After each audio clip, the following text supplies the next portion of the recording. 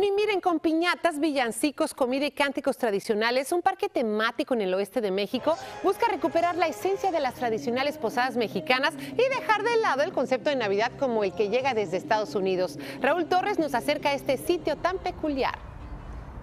¿Te imaginas un mundo donde todo tiene que ver con la Navidad? Donde están los pastores, los villancicos, los reyes magos, por supuesto, el nacimiento de Jesús. Bueno, pues esa ciudad existe y se llama Navidalia. Yo te saludo desde la capital mexicana. Se trata de un parque recreativo que se encuentra, fue montado allá en Guadalajara, Jalisco. Ahí se recrean varios mundos, México, Europa, el mundo nórdico, Asia, en un viaje que muestra de dónde viene, dónde nace la tradición de las posadas mexicanas. Vamos a ver un momento de lo que es Navidalia. Y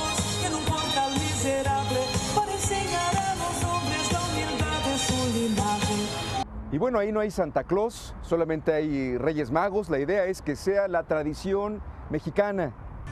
Y esto ha comenzado justo cuando, justo hoy, que es el primer día de las posadas. Durante nueve días eh, toda la gente en una peregrinación pide posada hasta llegar al nacimiento del niño Jesús y por supuesto hasta llegar a la piñata.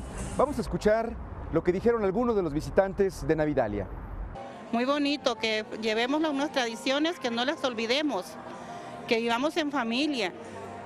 Este parque estará abierto hasta el día 25 de diciembre, justo la Navidad, justo el día del nacimiento del Niño Jesús. Y ahí se espera la llegada de por lo menos 4 mil visitantes eh, cada día. Pero lo fundamental ahí es mostrar y conservar las tradiciones. Vamos a escuchar a Marcos Jiménez, él es el director creativo de Navidalia recuperar las tradiciones mexicanas y una de ellas es la posada mexicana que se ha estado perdiendo. De repente las nuevas generaciones no saben por qué se rompe una piñata.